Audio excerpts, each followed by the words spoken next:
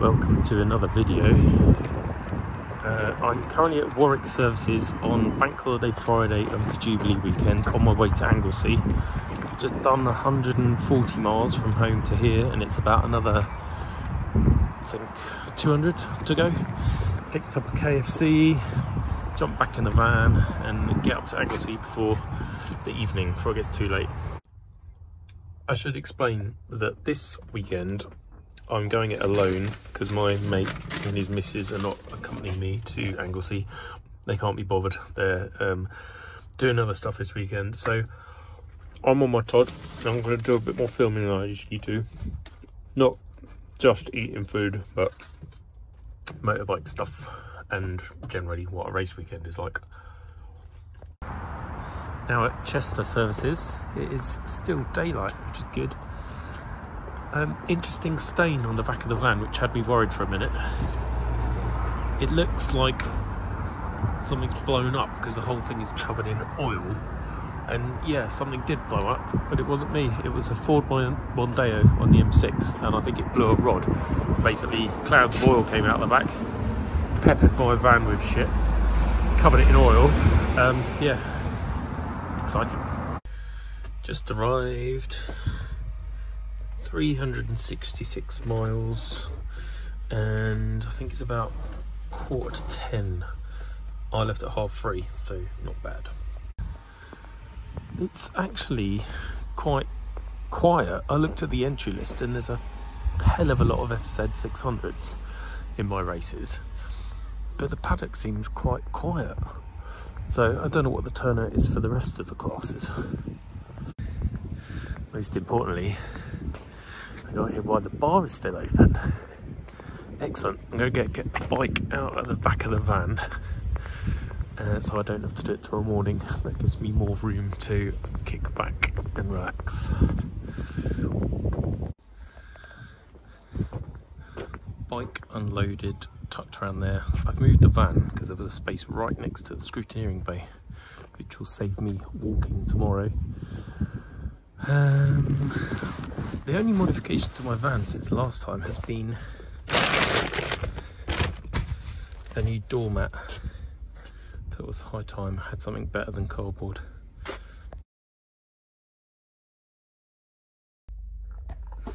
So this is what it's like living the life of a motorcycle racer, a failed one, or at the start of the career, bike is outside, I'm in bed, uh, got my sci-fi book. I can't remember where I was in this, but we should find out soon. I've got to get up early tomorrow to do sign-on and scrutiny and all that crap because ordinarily I try and do it on the Friday, but uh, got here too late, so I have to do it tomorrow morning. Good night. Wow. Anglesey is usually like this it's dry and it's sunny. It's pretty cool. Bike unveiled, transponder can go on. That stays there all weekend. And go to the scrutineering bay. Bike past scrutineering. It's now about eight, not even that, quarter to eight. I've got coffee, some and I'm going to chill out for a bit, then I'll go get my clothing scrutineered, and then uh, not a lot else to do until noise test and racing. Hmm, there's a lot of waiting around on race days, especially if, like me, you only do four races out of the weekend. So there ain't a lot to do until about 10 o'clock now. So I will just kick back, relax, read my book, drink coffee, wander around the paddock looking at bikes. It is now about tonight at the track. As the paddock is starting to come to life, engines are allowed to be switched on. It's really rather windy today, and strangely, the wind feels like it's coming from the opposite direction. It shouldn't, because the sea is over there, but the wind is going. So that's an odd one. Uh, yeah, I love this place. Over there, you can see the Llŷn Peninsula and maybe the Snowdon. But this track is 360 miles from home, and it's a long, long old way, especially in my sort of van. It's well worth it, especially the weather is like this. This is a lovely machine. The level of detail some people go to and the quality of the restorations. That is such a nice bike. Incidentally, the P signifies parade, which means it will be out on track, but it won't be in timed races. It will be driven hard, but not against the clock. First of today's dramas, I turned up to the assembly area to go out for the first practice. There's a bit of smoke coming off the exhaust, and I thought that that was just the result of fork oil having dropped on the inside of the manifold when I did the fork springs. They told me no, it's a leak from your oil filler. I'm not 100% convinced it is because that's a newish seal in there, and I don't know whether I actually had an oil leak or not. But either way, to appease them, I'm cleaning it all up. I'm going to fit a new seal to that, put oil back in it, and hopefully get out for my actual race. Although I will now start at the back of the grid, but that doesn't really matter because you know I'm towards the back of the grid anyway least it's an excuse to fit an arch filter and ring. So that can go back together, exhaust can go back on and hopefully no leaks. Bike is back together, it has been back to scrutineering and signed off. So that's good, isn't actually raining, I'm just hiding in the van because it's windy and then getting a bit cold. And it's lunchtime, so I have some prime cuts from Tesco. Sauce that I've stolen from motorway services around the country some cheese and some lettuce in a bag down there somewhere. So I'm gonna have my lunch, chill out for a bit, and then hopefully start my first race this afternoon. That thing is going absolutely mental. When a gust comes, I swear it's gonna break. It's half two, it's just started raining. I still haven't been out on track yet. Um, I haven't actually missed the race, it's just the way the timing of the day is going. So I had a little nap instead and I've just woken up to the rain. Never mind, it's not too bad yet.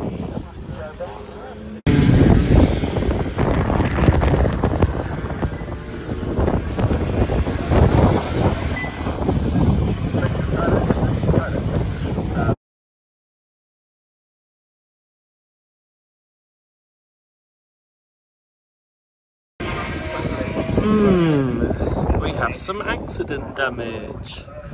Basically, I went into rocket and then crashed. So I have scuffed up and knackered the fairing, broken the mid fairing, broken the near side engine cover, snapped the gear select lever, ground off the peg, dented the fuel tank, ground off the clutch lever, handlebar end, distorted the handlebars, scuffed up the fairing. So I've got a couple of hours, oh and I broke the screen as well, so I've got a couple of hours to fix all that. And I also want to modify my front suspension because I think that's part of the reason I fell off. Because there's literally no sag. I adjusted this, well I put new springs in and basically there's no front suspension. So when I brake it just throws all force through the front tyre and threw me off. I should have between 20 and 30 millimeters of sag, that being how much it compresses when I get on it. And at the moment, there's about 8 millimeters. So it's very, very heavy on the preload, so that needs um, adjusting. Anyway, I'll get my tools out and start fixing it. I did have a sneaking suspicion I would crash again, so I've bought spare rear sets so that can go on in replace of that one. What I need to check is whether those bolts are bent. That one looks like it might be, in which case I need to go bolt shopping or try and straighten it. That's the result. The two bolts I thought had bent haven't. Either that plate had bent or it's just manufactured wonky. So either way, that's a win for me. That can go on and we're done. Okay, we have new foot peg there old engine cover off on these. Turns out that the offside cover is the same as the near side apart from the writing. So uh, shove that on, put a bolt through there to hold the top of the fairing, just straighten the handlebars. I need to change a clutch lever, but I have a brand new one. And then it's just tidy up these fairings and then we should be good to go back to scrutineer and get it checked over. Then I can get a pass sticker so I can go racing again. Well, I don't know how long that's taken, but it is back together and I'm going to head back to scrutineering and see if it will go through.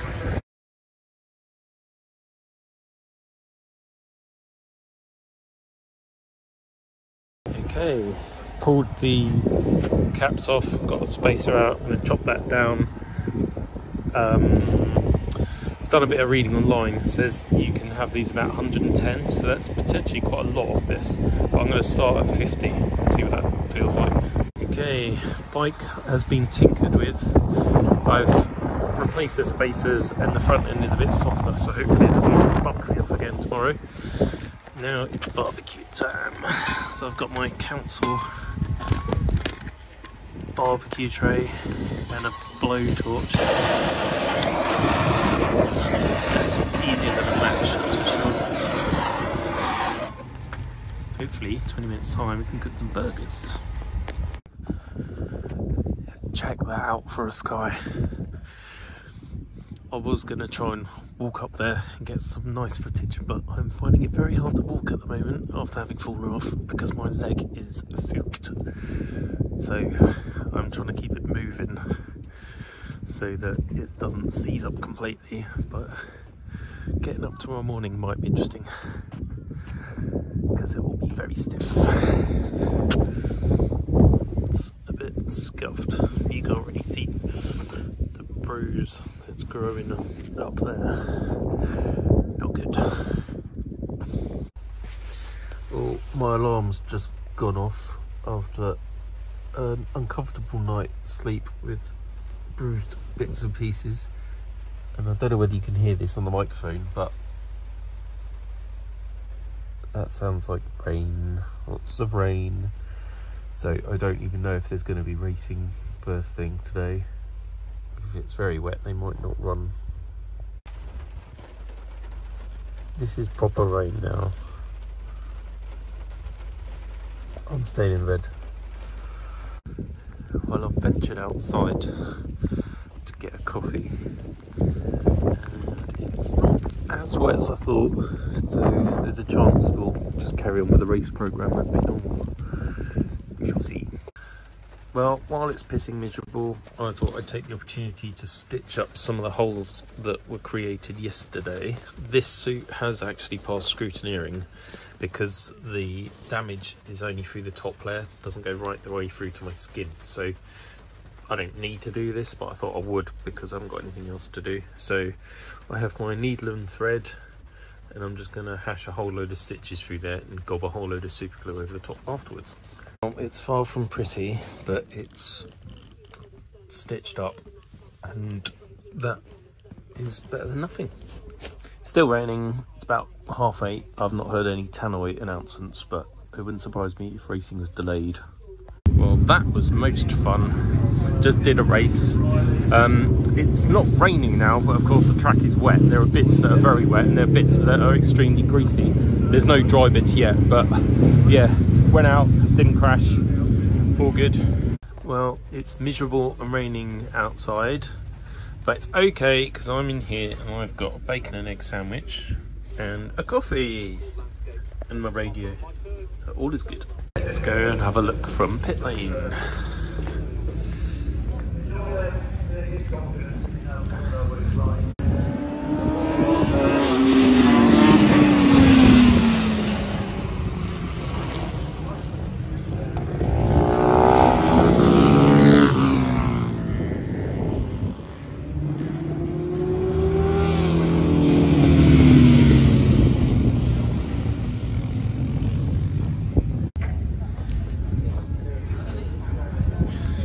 So that race just gone was race 25.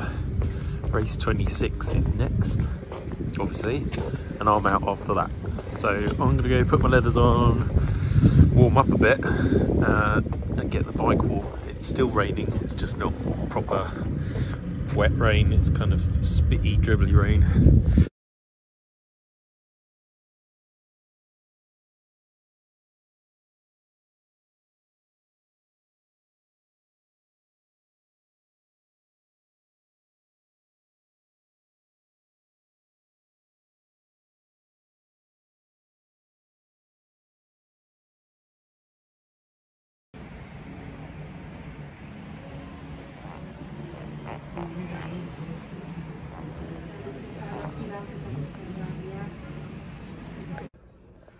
Not the way I intended on doing a video, but we have legs shouldn't look like that. Collarbone no idea if that was pointing the right way, but collarbone shouldn't look like that. Left knee I already knew about, but that's okay. But yeah, leg and collarbone. Not good.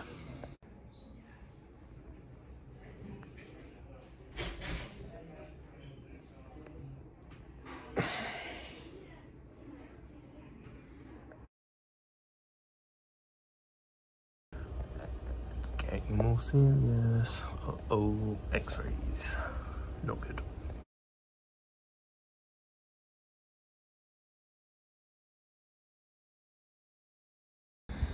Okay, it's been exactly six days since I crashed.